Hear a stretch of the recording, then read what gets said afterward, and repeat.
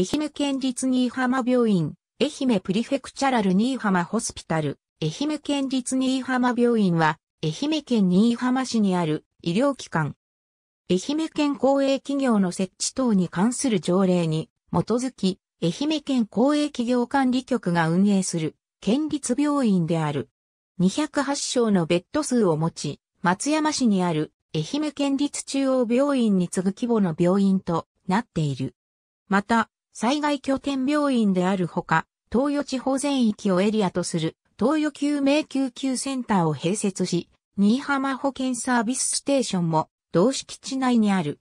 石槌山など登山者の多い地域にあり、山岳救急への早期対応の必要性が高いことから、敷地内にヘリポートを有し、地元消防、警察などと訓練を重ねて連携を強化している。